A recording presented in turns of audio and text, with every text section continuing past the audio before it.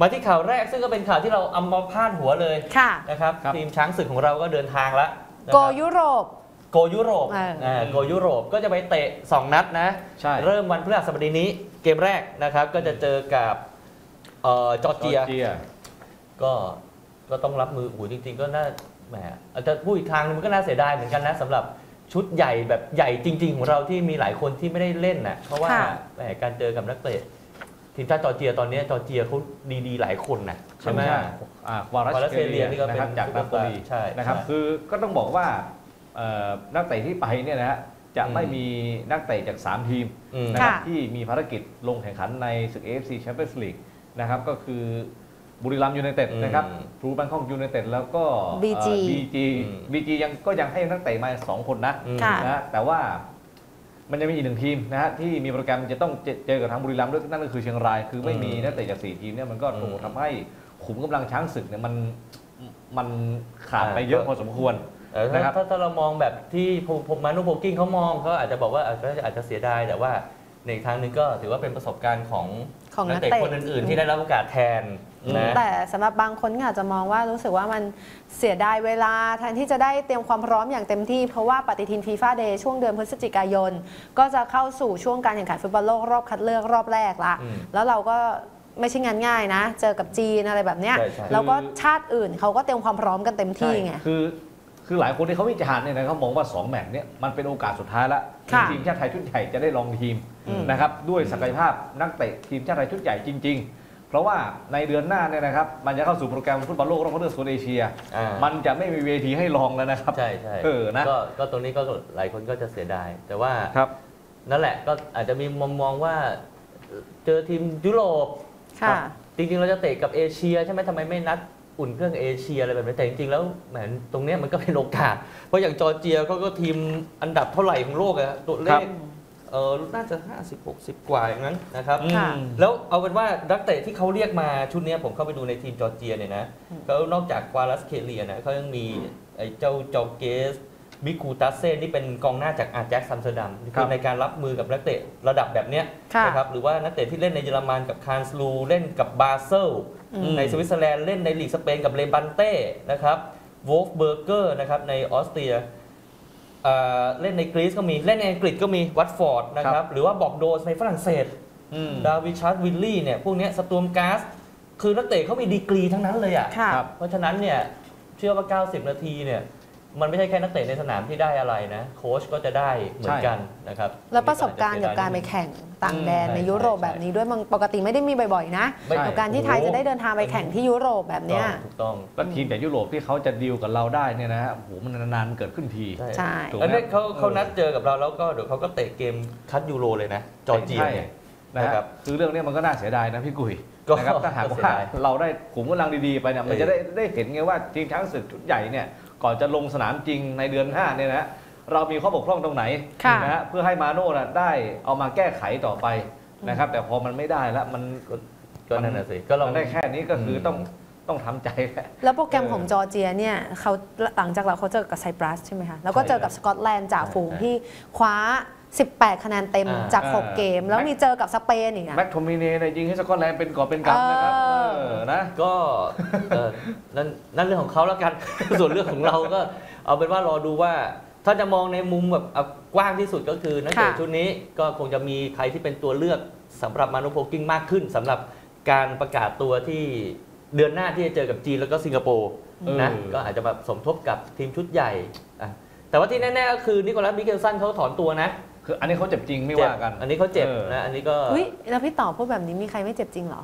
ฮะฮะก็ไม่รู้สิก็ก็เอาเอาอย่างนี้แล้วกันนะครับ คือจริงๆเนี่ยมันมันมันมันมีหลายทีมที่จะต้องเผชิญหน้ากับการที่จะต้องเตะเอเอฟซีแชมเปี้ยนส์ลีกอยู่แล้วค่ะถูกไหมพี่ที่ใช่ไหมครับพี่คุยอืมนะครับอย่างทีมจากยุโรปเนี่ยเขาก็ต้องเผชิญหน้ากับการที่ต้องเตะยูฟ่าแชมเปี้ยนส์ลีกอยู่แล้วอืมนะกลับมาจากเอ่อสตาร์ทีมชาติเนี่ยลงเล่นลีกปุ๊บก็ต้องเตะฟุตบอลยุโรปหรือไม่ก็เอเชียเลยอืมนะครับ ซึ่งเอ่อ ทุกประเทศเขาเจอปัญหาแบบนี้อยู่แล้วใช่ใช่ใช่นะฮะแต่ว่าของเราเนี่ยก็นะฮะก็สามทีมมาขอแล้วตัวก็ไปอาจจะเป็นห่วงสโมสรนะเออเป็นห่วงสภาพร่างกายนักฟุตอะบอลยกตัวอย่างง่ายๆอย่างซอนฮึงมินเนี้ยครับเขาก็เดินทางกลับมาตอนแรแข่กงนี่ที่ก็เกาหคืลีอเดินนะทางข้ามทวีปสิบกว่าชั่วโมงนะอืมอะอืมเอาไว้ว่าเราเรามองทีมชาติอยู่ตรงไหนก็แล้วกันมันนะครับค่ะจอร์เจียเนี่ยอันดับ 79 ของโลกนะครับเอสโตเนียอันดับ 115 ของโลกนะครับ ก็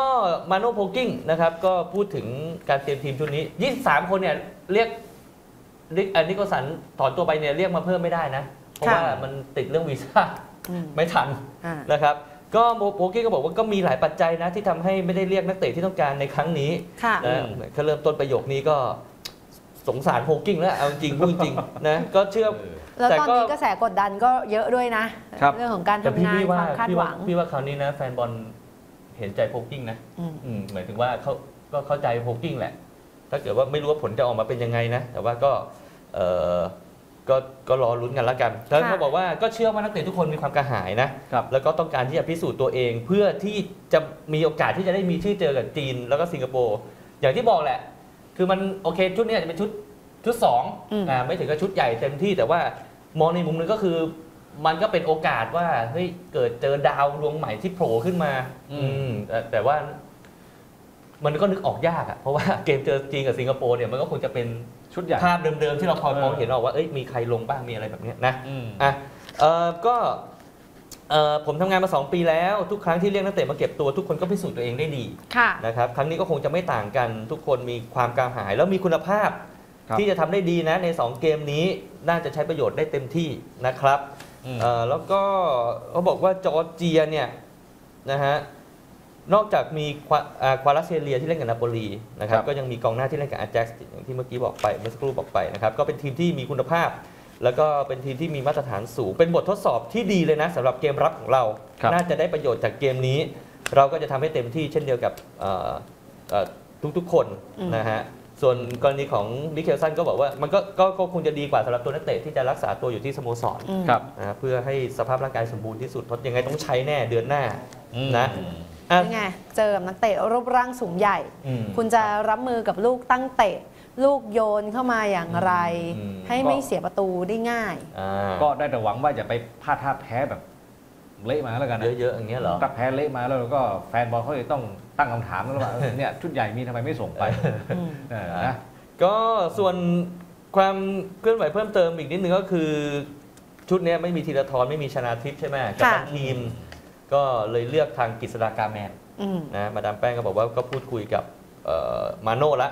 ก็เห็นว่ากฤษดาเนี่ยเหมาะสมที่สุดแล้วในทีมชุดนี้เพราะว่าก็เป็นผู้เล่นตัวหลักตลอด 2 ปีที่ผ่านมาก็มีความคุ้นเคยกับทีมดี แล้วก็ ทำหน้าที่นี้อยู่แล้วกับสโมสรต้นสังกัดนะครับแล้วก็ยังมี character ที่มีความเป็นผู้นำรองกัปตันก็จะเป็นบดินทร์ ผาลากับเอเลียสดอเลาะครับนะฮะอืมเอ่อเอเลียสก็จะเป็นการเรียกว่าทำหน้าที่คอยเชื่อมคอยสื่อสารระหว่างนักเตะไทยกับลูกครึ่งค่ะอ่าที่มาใหม่ แล้วก็อย่างบดินทร์ก็ก็ถือว่าเป็นหนึ่งในนักเตะตัวหลักของทีมอยู่แล้วครับนะครับอะนี่ไงก็คุณเดิทางนะคุณสถิเขาบอกสถิสถิตครับ แพ้ได้แต่ขอให้มีทรงเออเออสู้ให้มันสมศักดิ์ศรีหน่อยเออนะครับอ่าอะโปรแกรมเตะนะครับเอ่อวันพฤหัสบดีนี้ค่ะนะครับเอ่อห้าทุ่มครับห้าทุ่มเราจะเจอกับจอร์เจียอืมนะครับ แล้วก็อังคาร 17 ก็คืออังคาร อังคารก็จะเจอกับเอสโตเนีย เวลาเดียวกันนะห้าทุ่มอืมก็ถ่ายทอดสดนะครับ ไทยรัฐทีวีทั้ง 2 เกมเลยครับก็เดี๋ยวรอดูฟอร์มแล้วกันนะคะ เพราะว่าหลังจากนี้เดี๋ยวมีเกมในบ้าน เล่นที่ราชมังใช่ไหมใช่ใช่ต้อนรับการมาเยือนของทีมชาติจีนนะคะ ก็เป็นเกมแรกเปิดประเดิมการแข่งขันฟุตบอลโลกรอบคัดเลือก แล้วก็หวังว่าครั้งนี้แหละ 8.5 ทีมกับโควต้าของเอเชีย หวังว่ามันจะมีทีมชาติไทยอืมเดี๋ยวรอไปฟุตบอลโลกครั้งหน้านี่เจ้าภาพเขาเอาไปแล้ว 6 เหลือแค่ 42.5 นะ ทีมที่จะได้เข้าร่วมแข่งขันน่ะ42 ทีมครับโควต้าเอเชียจะเหลือสักเท่าไหร่อืมอะทีนี้จากเรื่องราวฟุตบอลนิดนึงนิดนึงพี่ชิค่ะก็คือ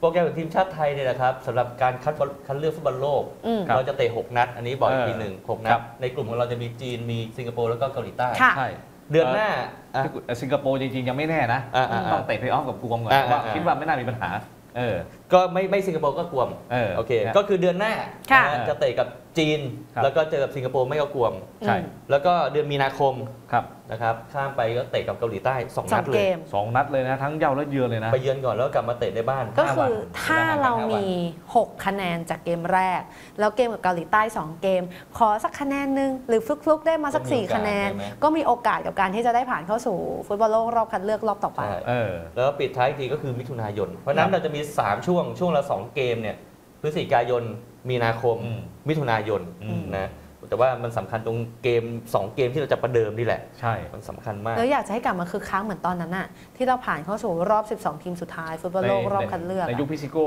นะโอ้โหโอ้โหในยุคนั้นเนี่ยคือแบบโอ้โห คือตั๋วดูบอลไทยที่ราชมังอะเต็มมาหมดเลยนะ แล้วก็เปิดขายใช่ ปุ๊บหมดปั๊บ อืมกระแสผมเวลาฟุตบอล fever ขึ้นมาเนี่ยกระแสมันมันช่วยแบบ ใช่ในหลาย ๆ เรื่องนะค่ะบอลลีกอะไรก็จะใช่มันก็จะใช่บูมขึ้นมานะฮะใช่รอบราชมังมีแต่เสื้อสีน้ำเงินนะในยุคอืมที่พี่ซิโก้ทำเนี่ยนะนะก็หวังว่าเหตุการณ์แบบนั้น moment แบบนั้นมันจะกลับมาอีกครั้งหนึ่งค่ะนะก็อะสู้ๆนะฮะส่งกำลังใจห้าทุ่มนะห้าทุ่มห้าทุ่มเออทั้งสองเกมอ่าค่ะกับอังคารพร้อมเสิร์ฟถึงหน้าจอทุกวันกับรายการสยามกีฬา Daily พบกันทุกวันจันทร์ถึงศุกร์เวลา 12 นาฬิกาเป็นต้นไป ติดตามได้ทาง YouTube Facebook สยามสปอร์ต และ YouTube สยามกีฬา